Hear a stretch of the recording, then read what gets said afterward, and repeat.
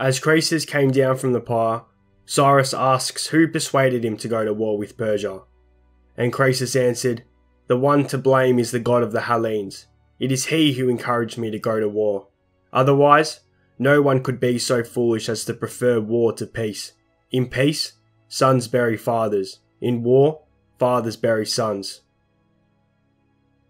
Croesus then looks to the great city of Sardis being plundered by the Persians, and tells Cyrus that they are no longer sacking my city, but yours, and advised Cyrus to recover the loot stolen, to preserve the Persian army from becoming corrupted by it, and Cyrus listens to his advice.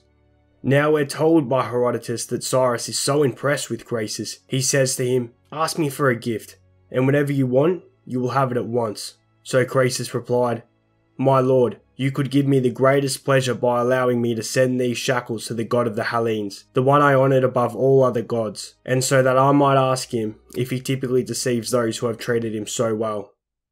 Now, as you can see by what Croesus has said here, Croesus is obviously angry with the god Apollo, as he feels he's been deceived by what the oracle had told him.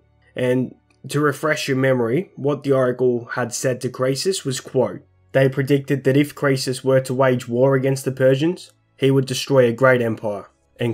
When a mule becomes king of the Medes, run, and do not delay, nor feel shame at being a coward. Croesus sent Lydians to the temple at Delphi, and they threw the chains on the floor, pointed at them, and called the gods ungrateful. And this was the oracle's response. Fated destiny is impossible to avoid even for a god. Croesus had to atone for the wrong of his ancestor four generations ago, this ancestor was a bodyguard for his king, of the family line of the Heraclids.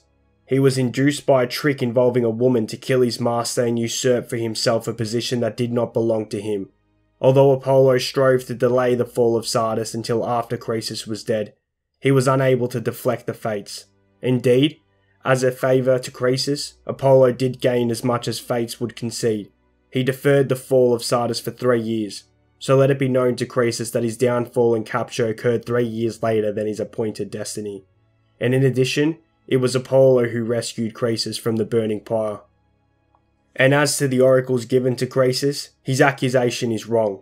The one on which Apollo predicted that if he made war on the Persians he would destroy a great empire was not considered wisely by Croesus.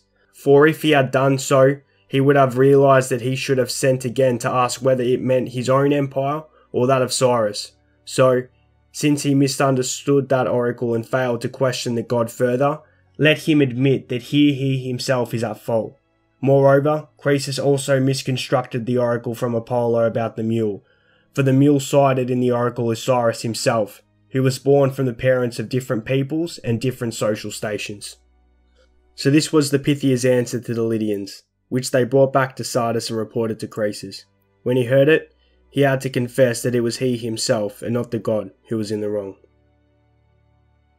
And here Herodotus discusses one of the important themes that is discussed throughout the book the theme of destiny and fate. And here he explains that the gods can't even avoid fate. The subject of fate and destiny is also discussed in Homer's Iliad and the Odyssey, where fate and destiny are portrayed as supreme and ultimate forces. For example, the fate of Achilles, who was fated to a short life, however, a glorious one.